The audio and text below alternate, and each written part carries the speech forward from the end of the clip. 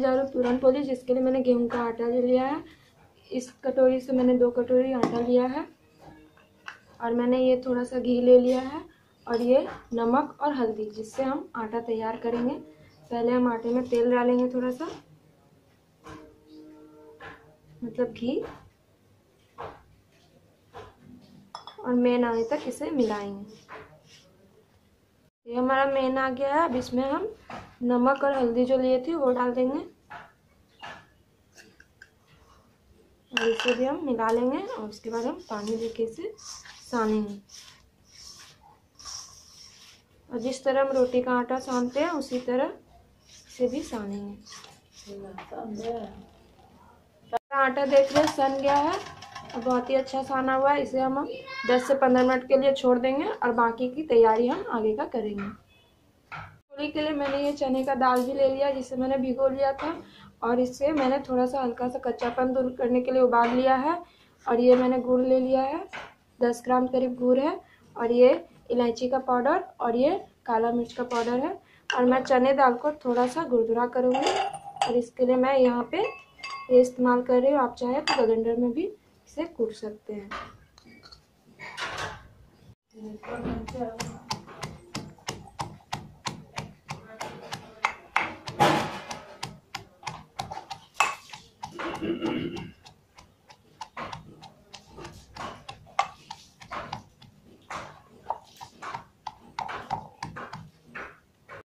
देख रहे ये हमारा टूट चुका है इतना ही करें, इससे ज़्यादा नहीं पतला करें, नहीं तो आटा में ये फटेगा, हमारा रोटी बेलेंगे तो।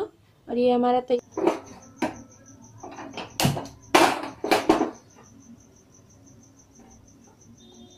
थोड़ा सा हम गर्म होने देंगे, फिर इसमें हम अपना सारा सामान डालेंगे। गरम के लिए जो भी मैंने लिया है उसे। मैं थोड़ा सा पानी डाल रही हूँ। बिल्कुल थोड़ा सा ज़्यादा नहीं, इतना सा।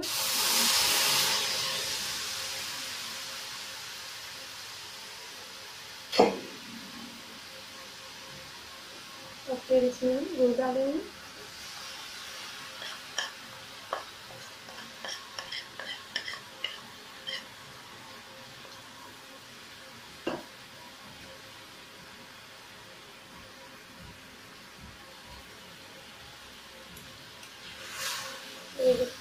पूरी तरह से पिघल गया तब हम इसमें अपना चना डाल जो मैंने प्रेस किया, उसे डाल। इतना सुंदर दिख रहा है।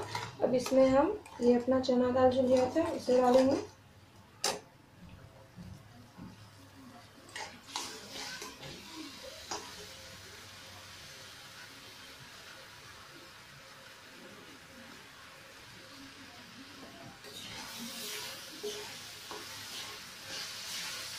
और जब चना दाल डाले तो थोड़ा सा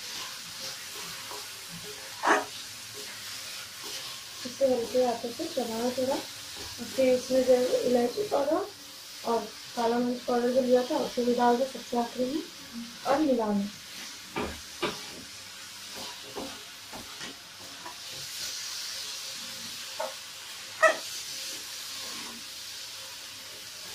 तुरंत का स्टफिंग तैयार है, अब हम इसे बंद कर लेते हैं।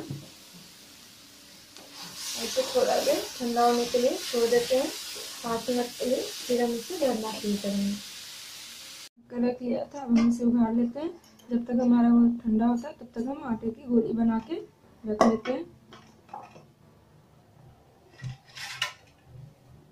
हो जाए तो इसे इस तरह गोली बनाकर रख लें जितनी पीस आपको बनानी है पर पूरन पोली उतनी ही गोली बना के रखें हम ऐसे करके सारा बना लेंगे हमारा देख सकते हैं, तैयार कर लिया मैंने पाँच पीस और यहाँ मैंने गोलियाँ भी काट रखी है। अब हम इसे भरना शुरू करेंगे।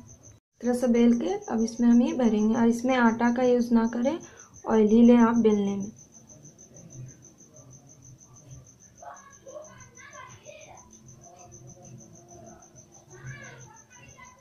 और इसे हल्के हाथों से दबा दें।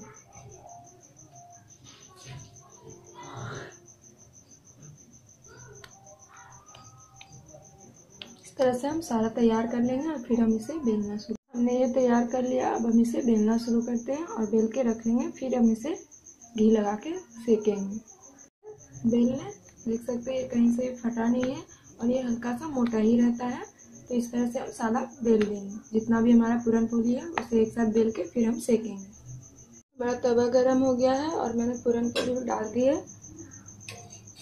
इसे धीमी आँच पे पकाएँ, ज़्यादा आँच तेज़ ना करें, क्योंकि हमारा ये हल्का सा मोटा रहता है, इसलिए।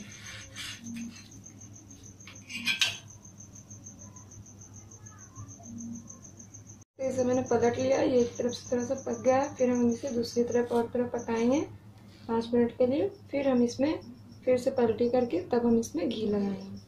आप घी या रिफाइंड तेल भी यूज़ कर सकते हैं। मैं यहाँ पे घी का यूज़ कर रही हूँ। घी का जा यूज़ करने से ज़्यादा अच्छा लगेगा इसलिए आप घी का ही यूज़ करें। तो ये पक गया और कितना सुंदर ही कलर आया है। अब हम इसमें घी लगाएँगे।